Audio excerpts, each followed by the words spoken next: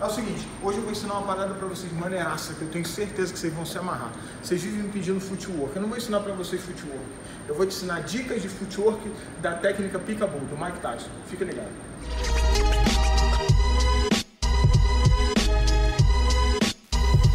Dica, quando você está trabalhando com golpes de curta distância, andando,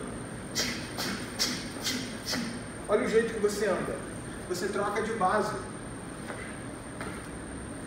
gira o corpo para o lado oposto. Para quê? Para você poder bater na ida e na volta. Girando o quadril. Segunda dica: quando você está batendo, trocar de base quebra o ângulo de contra-ataque do seu oponente. Se você está batendo para frente,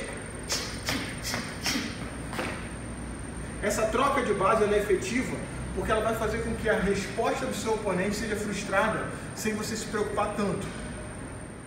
E o terceiro ponto, um dos mais importantes, o uso do corpo.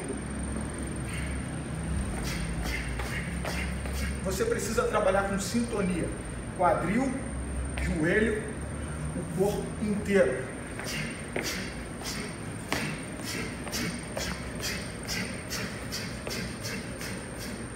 Isso vai trazer a velocidade e a potência em curta distância que você precisa enquanto anda. Um cheat code muito importante, você também pode trabalhar com movimentações laterais. Que é a projeção ou a passada enquanto você bate. Isso aumenta a potência e ajuda você a fugir dos contra-ataques. Para quem serve esse tipo de técnica?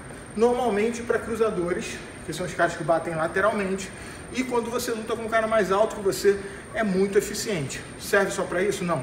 Serve também para defesa pessoal.